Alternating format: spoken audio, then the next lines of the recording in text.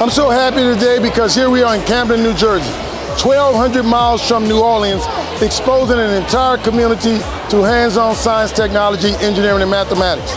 When we started this in our garage, we had no idea that we'll be bringing this to places uh, that people would think would not embrace such an idea. You see here today, over 500 kids registered, over 300 kids participating in hands-on STEM in Camden, New Jersey.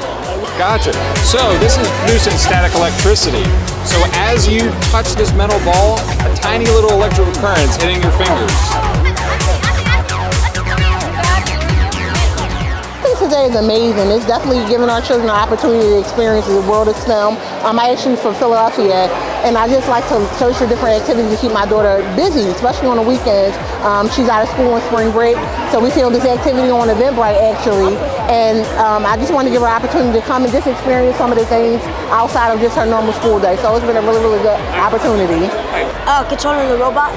How are you controlling the robot? With this tablet with Bluetooth. And uh, what are you making the robot do? I'm making the robot dance. The energy has to hit this and passes through these in order to launch this. The energy that is still in this has to come back and hit for diverting energy back here in the site. Our young people in the city of Camden, across the city, would be equipped with the best education, the best experiences in order to break the very stubborn opportunity and achievement gaps that continue to hang over the heads of students who come from districts that are uh, urban or impoverished. And so it is my dream that these experiences would ignite a spark and a love love for learning that would help our young people to transcend any barrier or any obstacle in their way. Equity matters. What do you think is healthy and which one do you think is unhealthy? That's healthy, this is unhealthy. Exactly. And what kind of things can make a lung unhealthy?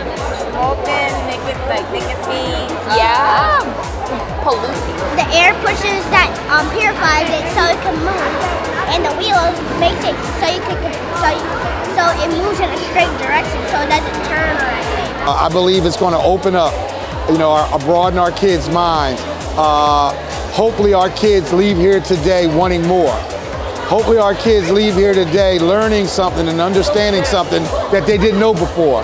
Hopefully today our parents leave here and, and, and charge the community of wanting to sustain this and come together to give more STEM with, in our community and in our school system. I was talking to our superintendent, and we talked about pulling this together and making our STEM programming more robust. And this is a great start into uh, inviting and creating a foundation for our kids, a foundation for our community to build on with partnerships, STEM NOLA, STEM NOLA, and everyone involved.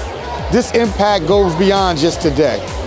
This impact can go on for our future and years to come.